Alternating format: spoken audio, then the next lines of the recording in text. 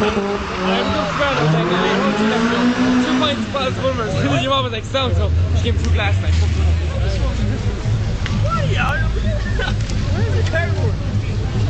Here, you're going to be lit on fire.